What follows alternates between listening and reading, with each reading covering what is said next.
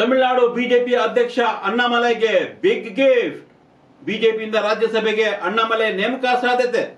ನೂರ ಇಪ್ಪತ್ತು ದಿನಗಳ ಪಾದಯಾತ್ರೆಗೂ ಮುನ್ನವೇ ಮೋದಿ ಶಾ ಬಿಗ್ ಗಿಫ್ಟ್ ಬಿಜೆಪಿಯ ತಮಿಳುನಾಡು ರಾಜ್ಯಾಧ್ಯಕ್ಷ ಅಣ್ಣಾಮಲೈ, ಕರ್ನಾಟಕ ಮಾಜಿ ಐಪಿಎಸ್ ಅಧಿಕಾರಿ.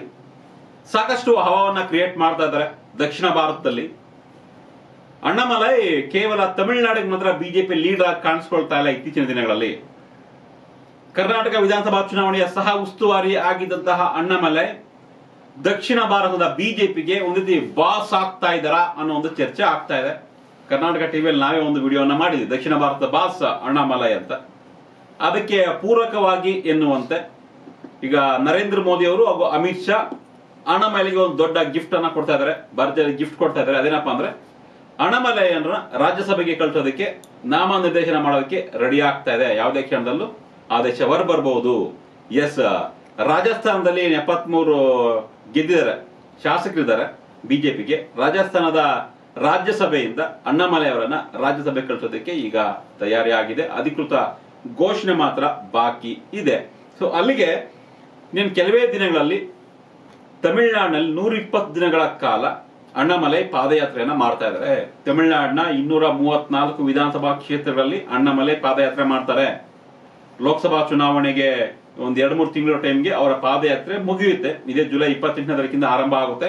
ಸ್ವತಃ ಅಮಿತ್ ಶಾ ಈ ಒಂದು ಪಾದಯಾತ್ರೆಯ ಮೊದಲ ದಿನದ ಸಮಾರಂಭದಲ್ಲಿ, ಸಮಾವೇಶದಲ್ಲಿ ಭಾಗಿ ಆಗ್ತಾ ಇದ್ದಾರೆ.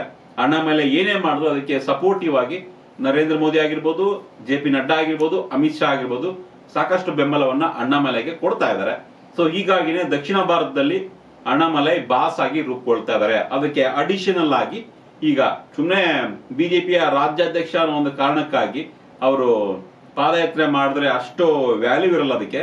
ಒಂದು ಪೊಸಿಷನ್ ಕೊಡೋಣ ಅಂದ್ಬಿಟ್ಟು ಈಗ ಅವ್ರಿಗೆ ಅಧಿಕೃತವಾಗಿ ರಾಜ್ಯಸಭೆಗೆ ಕಳಿಸುವಂತ ಪ್ರಯತ್ನ ಮಾಡ್ತಾ ಇದ್ದಾರೆ. ರಾಜ್ಯಸಭೆಗೆ ಹೋದ್ರೆ ರಾಜ್ಯಸಭಾ ಮೆಂಬರು ಆಗ್ತಾರೆ, ಬಿಜೆಪಿಯ ರಾಜ್ಯಾಧ್ಯಕ್ಷ ಹುದ್ದೆ ಕೂಡ ಇರುತ್ತೆ.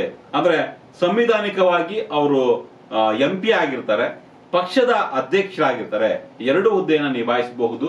ಸೊ ಸಾಂವಿಧಾನಿಕ ಒಂದು ಹಕ್ಕು ಬರುತ್ತೆ ಎಂ ಆದಾಗ. ಸ್ವಲ್ಪ ಅವರ ನಿರ್ಧಾರಗಳಿಗೆ ಅವರ ಬೇರೆ ಬೇರೆ ಪಕ್ಷ ಸಂಘಟನೆ ಮತ್ತೆ ಎಲೆಕ್ಷನ್ ವಿಚಾರವಾಗಿ ಸ್ವಲ್ಪ ಶಕ್ತಿ ಬರಂಗಾಗುತ್ತೆ ಅನ್ನಮಲೆಗೆ ಅನ್ನೋ ಕಾರಣಕ್ಕಾಗಿ ಈಗ ರಾಜ್ಯಸಭಾ ಎಂ ಪಿ ಆಗಿ ಮಾಡ್ತಾ ಇದ್ದಾರೆ. ಇತ್ತೀಚಿನ ದಿನಗಳಲ್ಲಿ ದಕ್ಷಿಣ ಭಾರತದಲ್ಲಿ ಯಾರಪ್ಪ ಸ್ಟ್ರಾಂಗ್ ಲೀಡರ್ ಅಂದ್ರೆ ಅದು ಅಣ್ಣಾಮಲೆ ಯಾಕಂದ್ರೆ ಕರ್ನಾಟಕದಲ್ಲಿ ಯಾರು ಬಿಜೆಪಿ ಲೀಡರ್ ಅಂದ್ರೆ ಯಡಿಯೂರಪ್ಪ ಬಿಟ್ರೆ ಯಾರು ಇಲ್ಲ ಅನ್ನೋ ತರ ಆಗಿದೆ. ಸೊ ಕರ್ನಾಟಕ ಒಂದೇ ಒಂದ್ ರೀತಿ ಸೂಪರ್ ಸ್ಟ್ರಾಂಗ್ ಆಗಿತ್ತು ಬಿಜೆಪಿಗೆ ದಕ್ಷಿಣ ಭಾರತದಲ್ಲಿ.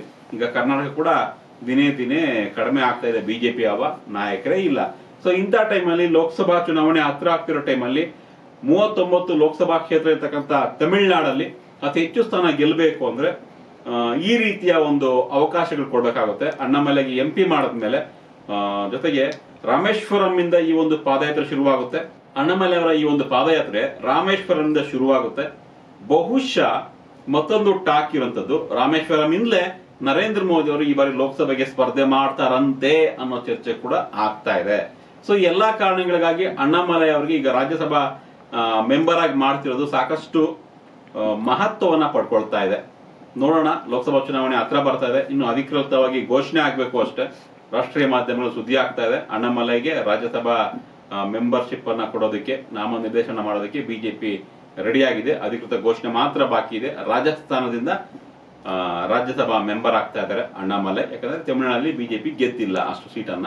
ಹೀಗಾಗಿ, ಸೊ, ಅಣ್ಣಾಮಲೈಗೆ ಎಂ ಪಿ ಕೊಟ್ಟ ಮೇಲೆ ಮತ್ತಷ್ಟು ಜೋರಾಗಬಹುದು ತಮಿಳುನಾಡಿನ ರಾಜಕಾರಣ. ವೆಯ್ಟ್ ಮಾಡೋಣ, ನಿಮ್ ಪ್ರಕಾರ ತಮಿಳುನಾಡಲ್ಲಿ ಅಣ್ಣಾಮಲೈ ಸ್ಟ್ರಾಂಗ್ ಆಗೋದ್ರ ಜೊತೆಗೆ ಬಿಜೆಪಿಯನ್ನ ಸ್ಟ್ರಾಂಗ್ ಮಾಡ್ತಾರ? ಲೋಕಸಭಾ ಚುನಾವಣೆಯಲ್ಲಿ ಬಿಜೆಪಿಗೆ ಒಂದು ತಕ್ಕ ಮಟ್ಟಿಗೆ ಸೀಟನ್ನ ಗೆಲ್ಲಿಸ್ಕೊಡುವಂತ ತಾಕತ್ತು ಇದೆಯಾ ಅಣ್ಣಾಮಲೈಗೆ? ನರೇಂದ್ರ ಮೋದಿ ಅವರು ರಾಮೇಶ್ವರದಿಂದ ಸ್ಪರ್ಧೆ ಮಾಡಬೇಕಾ ಲೋಕಸಭೆಗೆ? ಕಮೆಂಟ್ ಮುಖಾಂತರ ತಿಳಿಸಿ. ಧನ್ಯವಾದಗಳು. ಕರ್ನಾಟಕ ಟಿವಿ ಇದು ಕನ್ನಡಿಗರ ಧ್ವನಿ.